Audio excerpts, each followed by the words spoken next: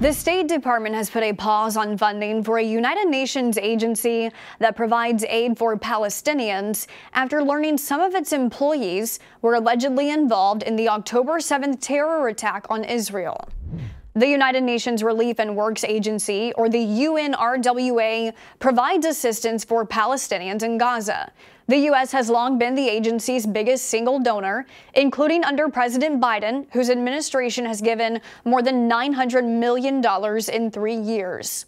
For decades, the U.S. has gifted billions of dollars to the Palestinian refugee group, excluding years under former President Donald Trump, who stopped giving money out of concerns the agency was, quote, irredeemably flawed.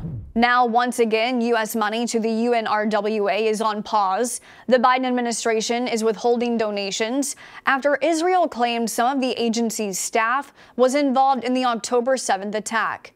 The UN agency also has a reputation for being anti Semitic. An Israel nonprofit organization has found examples of UNRWA teachers praising the mass murder of Jews. The State Department says around 12 employees were accused of participating in the terror attacks on Israel.